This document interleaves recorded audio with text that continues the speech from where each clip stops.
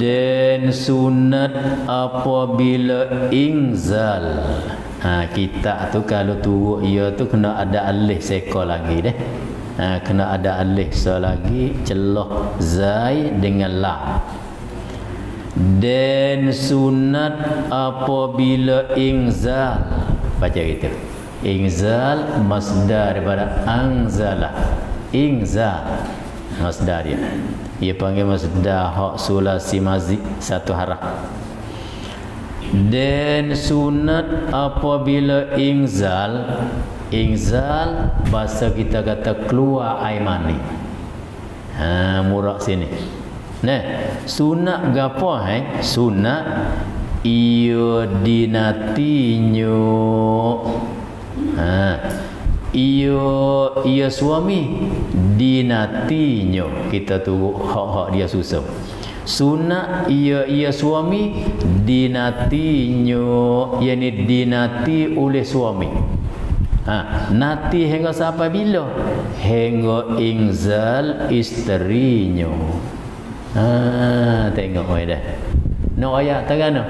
Bila kita setubuh, patu kita keluar air mani. Kita keluar air mani.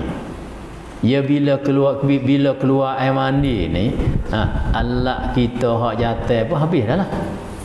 Ia sebab salah satu daripada khawas sebagai air mani, ha, bila dia tubik, nah, ha, kekuatan zakah dia tu, kerah dia tu jadi patah juga tu setengah pada khawas sebagai air mandi tak kita sebut dalam kitab fiqh dah ha agak bila dia tubik dah tu ha, kita kena nati dia dulu ha, nati dia dulu eh eh lepas tu kita nak tahu dana ha sudah lah dah nak tahu dana eh. Ha, nampak sini ni dah. Salah satu daripada tempat yang diizinkan oleh syarak tanya menanya. Kecek boleh sini. Ha, ni tak boleh malu lah. Bo kita tubik dah hak kita ni dah. Ha, kita tanya dia. Puah dah gini. Boleh. Puah dah gini. Ha, dia kata kau dulu. Ha, kau dulu kena taruh duduk situ dulu. Oh. Ha. Apa kena taruh pun jadi lembek duk teks politah dah ni. Ha ikut ya. Syarat Rasul lagu tu. Nah. Ha. eh bukan kita mengaji dalam kita royah dulu eh. Dah royah dah.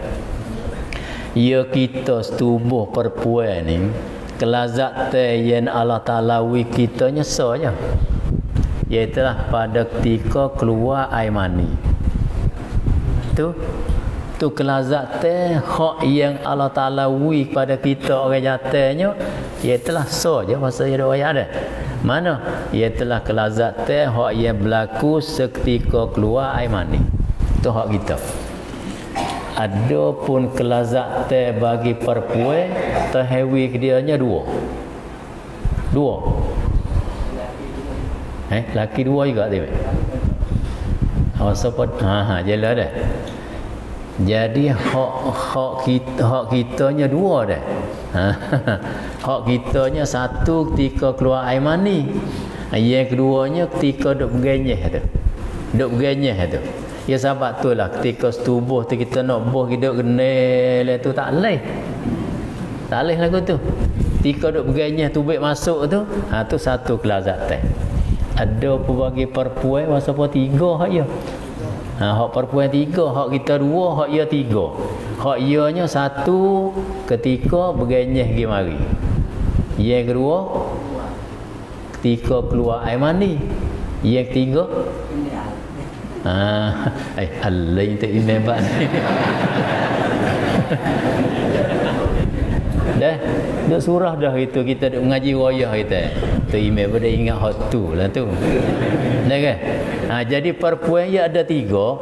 Nombor satu ketika duk berganyah pergi mari. Nombor duanya ha, ketika keluar air mani dia.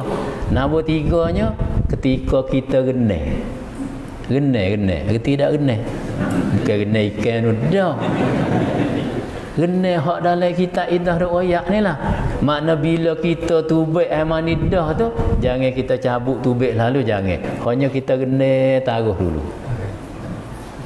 Terkadang dengan sahabat dok gene taruh tu, ia pun mula keluar air mani semula pula situ. Ha tu hak syarat nak. Deh.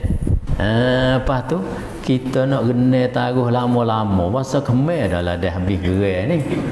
Lalu tu kita tanya dia. Eh, hey, patu pada lagi ni. Kau dah tu sudah lah. Ayat tu call dulu, call dulu. Ha, call dulu.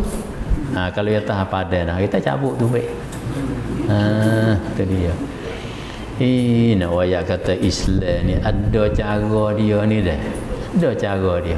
Ha, sependapat ni ni kalau kita tak mengaji idah kok, kita ambil tua ikut-ikut daripada orang yang tak reti hulu hilir nak jatuh dah. Ha tu jadi punah kena habis. Punah kena habis. Nah. Hmm, nanti ingat deh. Bila kita tu sudah keluar air mani, ha, sunat kita nanti hingga isteri kita pun keluar air mani katik. Yang ni sunatnya kita kena dulu kena hidup lama sikit ha, lepas tu tanya dia pada dah gini ha, ya terpada dah pada kita cabut tu hmm, itulah cara setubuh dalam Islam subhanallah lah hmm.